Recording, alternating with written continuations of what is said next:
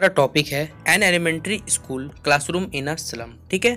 ये कौन से पॉइंट के द्वारा लिखा गया है, ठीक है? राइटर के द्वारा स्टेपन स्पेंडर के द्वारा लिखा हुआ है, ठीक है? आपको मैंने करा दिया था my mother at sixty six complete हो चुका था, जिसके कुछ इंपॉर्टेंट ऑब्जेक्ट को क्वेश्चन मैंने आपको टिक करा दिए थे।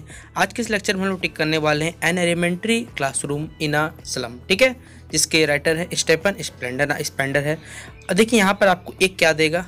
आपको पैसेज उठा दिया जाए। एक थोड़ा सा, कह सकते हैं थोड़ा सा कोई भी आपको पॉइंट रहेगा, उसका एक पार्ट उठा के दिया जाएगा।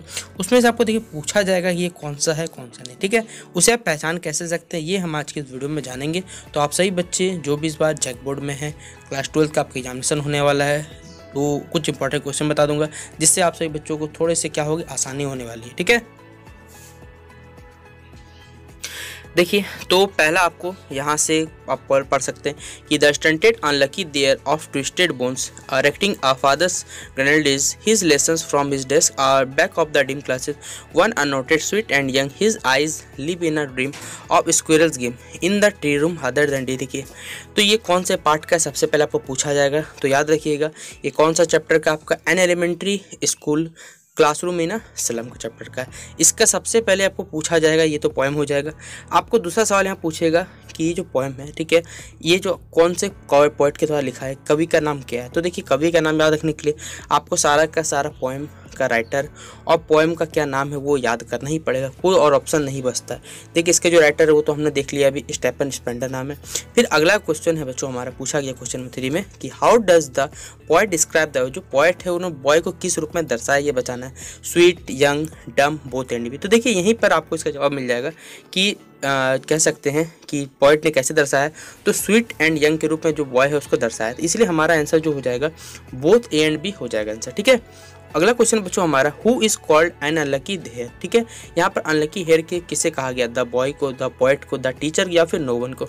तो देखिए कवि ने इस पोएम इस आ, कह सकते हैं पोएम में किसको अनलकी हेयर बताया? है तो बच्चों वो कहा है आपका बॉय को कहा। इसलिए बच्चों इसका ऑप्शन टिक है द बॉय टिक है। अगर किसी बच्चे को हड़बड़ी है तो वो टिक देख सकते हैं आंसर मार्क भी किया हुआ है उसमें कोई दिक्कत नहीं ठीक है?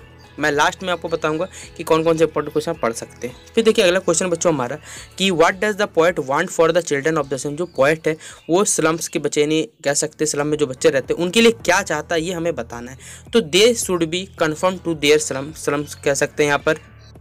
अगला बच्चों हमारा है कि दे शुड फेस डिस्क्रिमिनेशन क्या कभी कोई चाहेगा कि कोई भेदभाव का डिस्क्रिमिनेशन फेस करे?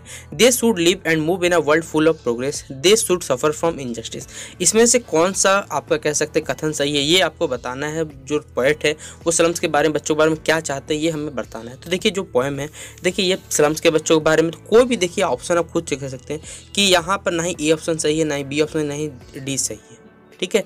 एक ही ऑप्शन बचता है हमारा सी कि कोई भी कोई भी आदमी रहे, किसी अच्छे के बारे में चाहे, किसी भी आदमी होना चाहेगा, वो अच्छा ही चाहेगा ना कि बुरा आदमी चाहे वो बुरा व्यवहार चाहे किसी के बारे में, ठीक है? तो इसलिए ऑप्शन नंबर इसका सी सही हो जाएगा।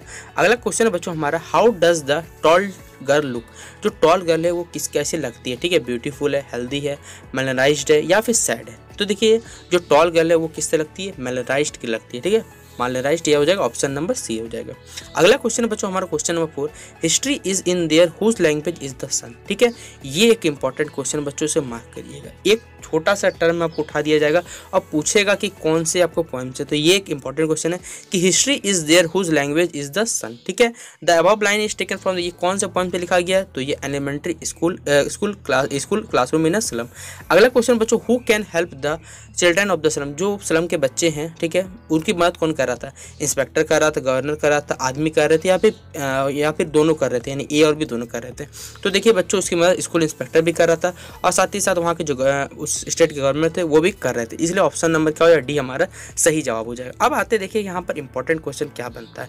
तो देखिए, पहला बात तो पोएम तो आपको याद रखना ही पड़ेगा बच्चों थोड़ा सा क्योंकि पोएम का एक दो लाइन भी याद रखे तो ना पता चल पाएगा कौन से। तो देखिए, यहाँ से वर्ड से पहचान सकते हैं कि जो डिज़ीज़ है, कौन से पोएम का है। तो याद रखिए सलम वाला। और सलम कौन सा चैप्टर है? एलिमेंट्री स्कूल क्लासरूम में ना सलम। ये हो गया इससे पहचाने। पोएम का नाम याद हो जाएगा। पोइट का नाम तो देखिए याद करना ही पड़ेगा, आपको रटना ही पड़ेगा कि स्टेपन स्पेंड पोएम है। दूसरा अनलकी है, ये एक अच्छा क्वेश्चन आपका। दूसरा, ये एक टॉल ट्री लुक वाला और एक हिस्ट्री ये सबसे अच्छा क्वेश्चन है, कह सकते हैं, इस चैप्टर से। तो ये थे इंपॉर्टेंट क्वेश्चन आपके, कौन सा चैप्टर हमारा? An elementary school classroom in a slum आशा करता हूँ कि बच्चों आपको वीडियो पसंद आया होगा। वीडियो पसंद आया तो वीडियो कैसा लगा कमेंट से ज़रूर बताइएगा। और देखिए, इससे पहले मैं आपको ऑब्जेक्टिव कंप्लीट कर दूँगा। फिर सारा का सारा सब्जेक्टिव भी आपको कुछ इंपॉर्टेंट करवा दूँगा, जिससे आपके जो क्वेश्चन आपके एग्ज़ाम में आ सकते हैं। ठीक है?